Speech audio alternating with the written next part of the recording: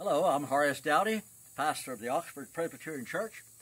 And every Sunday morning I do a nature lesson, a short nature lesson, uh, showing the local uh, blossoms and plants, many of them edible, that are available right here in our neighborhood. Today, I want to acquaint you with Virgin's Bower. The actual name of it is Clematis virginiana. It also is called the Devil's Darning Needle, the Virgin's Bower, the Devil's Hair, Love, Vine, Wild Hops, and Old Man's Beard. This plant is found in profusion in parts of Virginia. This came from very near the, the church uh, property, but if you want to see this in abundance, go out Route 11 bypass at Lexington, and it is all over the place.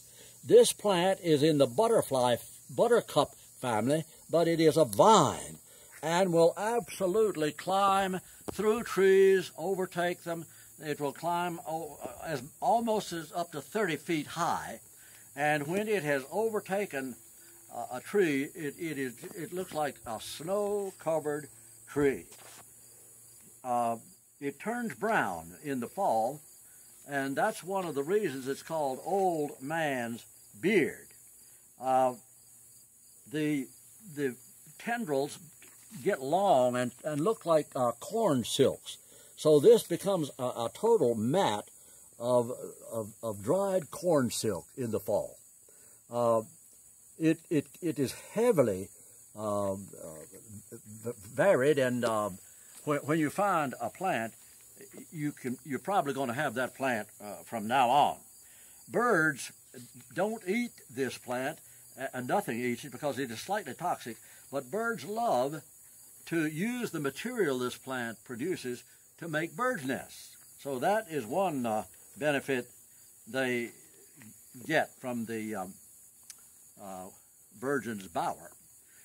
Reputedly, this plant can be um, uh, processed to become an aphrodisiac, a love potion, which uh, I, I, have no idea whether that is uh, correct or not.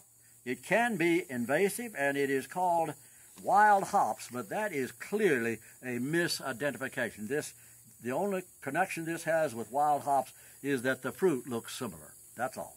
There. Is Virgin's Bower, and when you see it, it will sometimes be massed all over a bank, all over the place, very uh, heavily blooming. Virgin's Bower, your nature lesson for today. Glad you're with me.